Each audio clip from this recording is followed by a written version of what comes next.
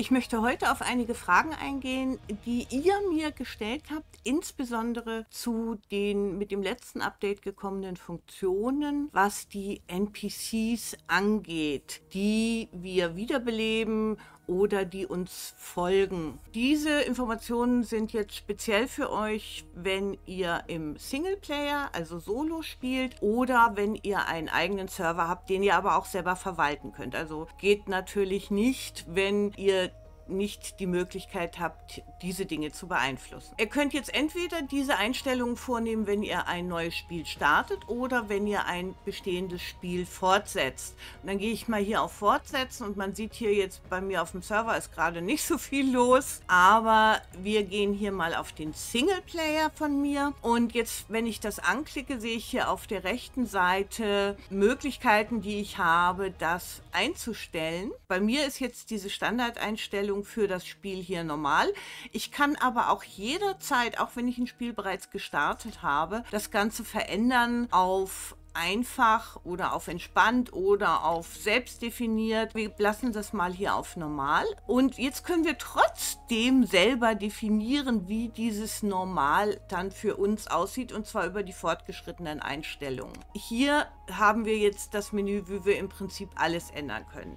Wir fokussieren uns jetzt aber mal auf das, was das heutige Thema ist, nämlich die NPCs. Wir haben jetzt hier auf der linken Seite eben diese verschiedenen Kategorien, was wir alles anpassen können und das ist eine ganze Menge. Und auf der rechten Seite haben wir so gewisse Schalter, die wir ein- und ausschalten können. Was jetzt für uns wichtig ist, in diesem Fall sind diese beiden Informationen hier. Also, wenn du deinen Charakter wieder beleben willst, dein NPC wieder beleben willst, und zwar so, dass der zuletzt gespeicherte Status des NPCs tatsächlich dort wieder wiederbelebt wird, dann musst du hier mit diesen beiden Schaltern arbeiten und kannst hier sagen, dass die ursprünglichen Charakterdaten nicht benutzt werden sollen, aber du möchtest die perfekte Umgestaltung. Das heißt, du möchtest deinen Charakter so aus dem mystischen Steintisch wiederbeleben, wie du ihn zuletzt eingespeichert hast. Also das ist ganz wichtig. Wenn man das vergessen hat, dann ja, dann kriegt man eben den Status, der dort vorher gespeichert war. Dann haben wir noch zwei andere Einstellungen, die interessant sind in diesem Zusammenhang. Das eine findet ihr hier unter Allgemein, den Multiplikator der Charakterumgestaltungszeit. Der steht bei mir auf 1. Das sind dann 30 Minuten, glaube ich, so ungefähr oder ziemlich genau 30 Minuten. Und ich kann das aber auch hier hochstellen, zum Beispiel auf 9,974. Das heißt dann wird der äh, NPC praktisch sofort wieder aus dem mystischen Steintisch rauskommen. Oder ich glaube, es sind sogar drei Minuten. Ich habe es einmal ausprobiert. Ich lasse das aber auf Standard. Ich finde, so ein bisschen Strafe kann ruhig sein. Das andere, was man verändern kann, ist hier die, wie viele Stammesmitglieder du mitnehmen möchtest. Die Standardeinstellung sind drei. Du kannst das aber bis zu 100 hochschieben, was für mich keinen Sinn wirklich macht. Ich denke, das werden sie wahrscheinlich auch noch mal ändern. Aber drei ist das, was auf Standard steht und du kannst einfach diesen Regler benutzen und kannst es verändern. So, ich führe hier gerade Julio.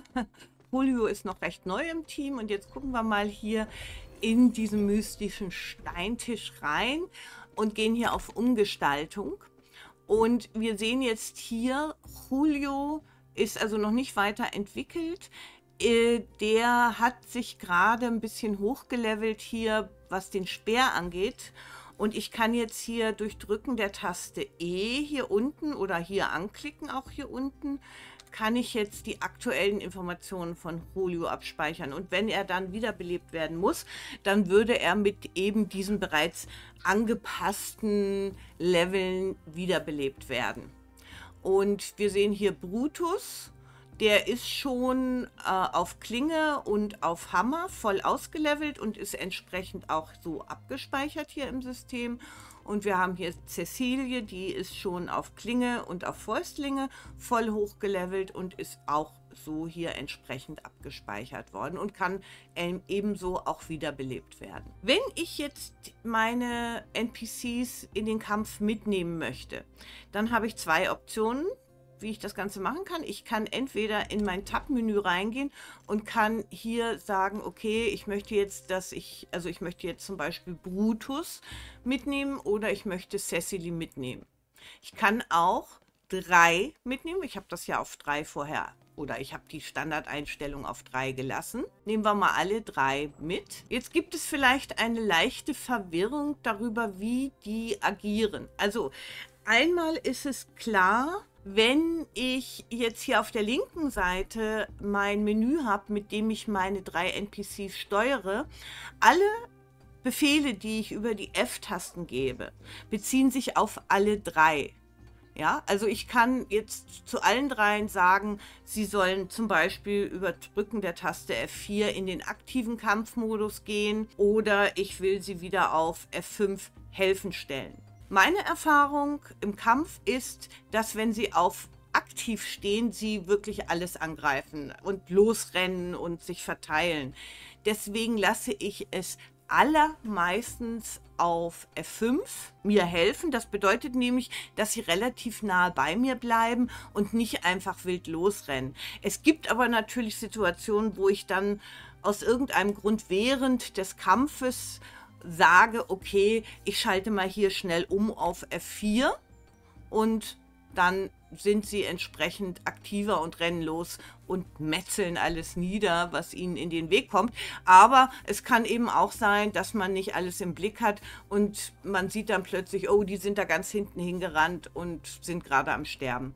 Deswegen bin ich meistens im Modus helfen hier. Und rette mich heißt übrigens, dass einer von denen kommt und euch wiederbelebt, wenn, belebt, wenn ihr am Boden seid. So, und wenn ich irgendwo hindeute und drücke F1, dann würden sie entsprechend dieses Ziel angreifen. Gut, da passiert jetzt nichts, weil da ist kein Ziel, ja. Jetzt gibt es noch Folgendes. Wir haben ja verschiedene Einstellungen, die wir vornehmen können bei den einzelnen NPCs. Und wenn ich jetzt mal bei Brutus hier ins Menü gehe, dann sehen wir das Hauptmenü von Brutus. Und wir können hier über die Verhaltenseinstellungen unterschiedliche Einstellungen vornehmen, was ich euch empfehlen würde. Das eine bezieht sich auf das Essen und Trinken, wie häufig sie essen oder trinken. Standardeinstellungen sind immer, wenn sie bei 60 Prozent sind, dann tun sie das. Du kannst das natürlich runterstellen, aber es bekommt ihn ja nicht so gut, wenn sie irgendwann am Verhungern sind, ja. Dann haben wir unter den Verhaltenseinstellungen, das für den Kampf dann ganz wichtig ist. Wann sollen sie eine Bandage benutzen? Ich habe das jetzt hier so eingestellt, dass er schon, wenn er nur noch 80 Prozent